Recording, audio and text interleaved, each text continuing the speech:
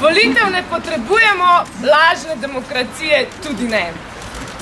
Volitve so zopet tu. Cirkus, ki periodično prihaja v naše kraje. Cirkus, ki za svoj šov odira staro in mlado. Programi so venomer enaki in točke kljub različnim barvnim odtenkom identične. Iz sebe za nas brijejo norce, medtem ko si v resnici prizadevajo za slavo, vpliv in denar. Prevečkrat so že odigrali to predstavo, da bi ponovno nasedli njihovemu kupovanju glasov in nagovarjanju, da je to naša dolžnost ali da je tokrat, kot vsakič, prelomen trenutek za spremembe. Sami bomo krojili našo usodo, čeprav tega nočejo.